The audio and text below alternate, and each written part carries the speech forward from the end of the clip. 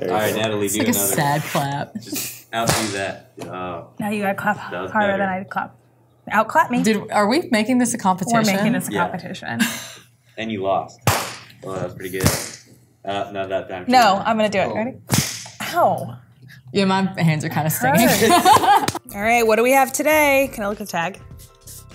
Ooh, bismuth. Bismuth is a little bit different than anything we've talked about in the past, as it is an element. So it is pure. There's no other compounds that we're going to see today. It's not like a gemstone that you have a lot of different elements coming together. So we get this perfect recipe for a beautiful gem. Oh wow! I told you this is so cool. What's that Halloween movie? The night before The Nightmare Before the Nightmare Before Christmas. This looks like something that would come out of the Nightmare Before Christmas, doesn't it? It just looks spooky and Halloweeny and Steven is that that's Steven Spielberg, isn't it? Who is that? Tim Burton. This looks very Tim Burton-esque. First of all, what I noticed is like is the coloring, how sharp some of these points are. A little bit heavier than I was expecting. It was lab grown but not man-made, which I think is really neat. It's a little bit too brittle to make jewelry, although it has been done. We're actually gonna bring in Elizabeth, who's a geologist, to tell us all about bismuth, where it's found. My question for her is how exactly can we grow it like this? Because this is pretty darn cool. I'm gonna call up Elizabeth so we can get down to bismuth. So I'm probably not gonna find this out in the wild. I don't know why I keep saying out in the wild. So these guys actually have, as far as metal goes, a pretty low melting point. They melt at about, it's in the mid 500 and something degrees Fahrenheit. So you can't actually melt these on a stove. How often do people find this? So typically what they do is they actually melt down other materials that contain the bismuth. It's hard to find as like a pure elemental substance. I haven't seen it in jewelry. Have you ever seen? I don't think I've ever. Maybe I haven't seen it in jewelry, and I could see people actually taking pieces of this if this was like removed from the main mass and, maybe- wearing it. Yeah, that'd be Because it'd be pretty. It'd be really artistic and different. I've heard um, rumors that bismuth is weakly radioactive. It is radioactive. But it is so weakly radioactive that its half life is estimated to be more than a billion times the age of the solar system. So we're good. We're good. Never mind. The way the crystals are grown is actually termed a hopper crystal, which Mm-hmm. basically means it's like a funnel. And so they are actually growing faster on the outside than they are on the inside. It's pretty cool. So that's kind of why we see that step pattern. Yeah. Right. All right, we got another another present. You want to unbox it, or do you want me to unbox it? I got this. You got it. Remember, no shaking the boxes. Oh, there we go. That's cool. I still see that same like step pattern, which is really neat. Was it grown in a bowl or something? Yeah, so it's probably grown in a crucible. A crucible is small or big bowl, whatever, but it's made out of a material that has an extremely high melting point and it's not gonna crack. And so you're able to actually put, you know, pretty volatile elements in it. Um, if they start to, say, catch on fire or something, you'll be okay. Is it pretty easy to grow this? It's pretty easy. So basically, you get your raw bismuth, put it into a pot or pan that you do not care about anymore Okay. And you heat it up and you cook it on the stove and then you let it cool down over time. As it starts to cool, the bismuth will actually start to crystallize. Is this something I can do over the weekend, or is it going to take Oh a yeah. couple months? You can do it in a day. These look extremely different. This one probably grew top down.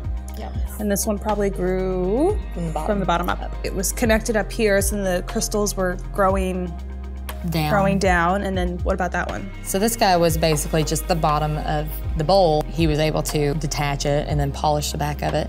You can see where he actually had to cut it mm-hmm. away. And depending on how pure it is, you'll actually get prettier colors. This is a really good one, but I have seen some that are like lab grown that are like crazy rainbows. So this is what bismuth would look like. That's the the color. Coloring. Kind of brassy. So kind of out in the wild. Why do I keep saying in the wild?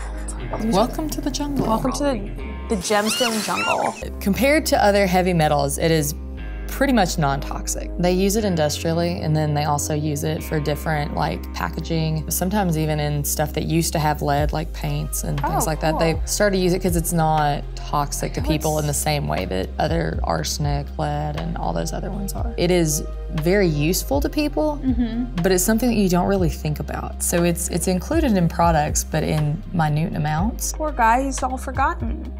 Unless Not you're on our really. YouTube show. Not really if you've ever chugged some Pepto-Bismol. Pepto-Bismol, gross. It works. I know, but it makes me nauseous thinking about it. It's not millennium pink, millennial pink. You know what I'm talking about, don't you? I have no idea what that is. It's just like a thing. Okay. It's like a thing. I don't even know how to It's describe it. It's just like a thing, you know? in pop culture. There you go. Thanks to Bismuth's for keeping America's Tummy's nice and nice calm and down. this isn't a byproduct. This is on purpose. But I've always kind of wanted to see what somebody could do with a, you know, man-made materials that might be beautiful crystals, but they're byproducts or they're, you know, something that we make rather than the earth.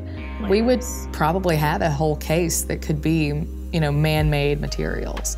Actually, that would be really cool. We could display Pepto Bismol too. Do a whole bismuth case. Elizabeth, I know how much you love bismuth, so why don't you uh, just take one of these, your favorite, and hold it up to the, the lens right there and tell people something cool that you like about it. Well, of course, I love the beautiful, shiny surface of the bismuth, and then I love their crystal shapes because you just really don't see a whole lot of that in nature.